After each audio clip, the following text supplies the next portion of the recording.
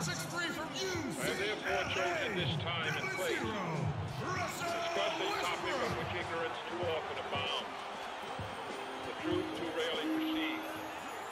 And that is the most important topic on earth, peace. I realize the pursuit of peace is not as dramatic as the pursuit of war, and frequently the words of the pursuers fall on deaf ears. This is a Chicky Beat production.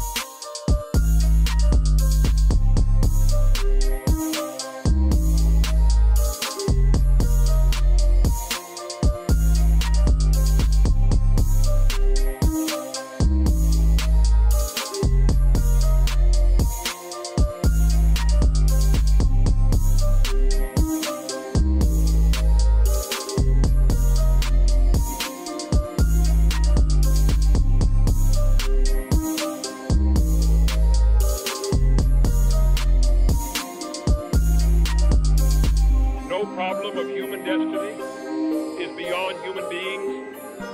Man's reason and spirit have often solved the seemingly unsolvable, and we believe they can do it again. World peace, like community peace, does not require that each man love his neighbor. It requires only that they live together in mutual tolerance, submitting their disputes to a just and peaceful settlement. Peace need not be This impractical.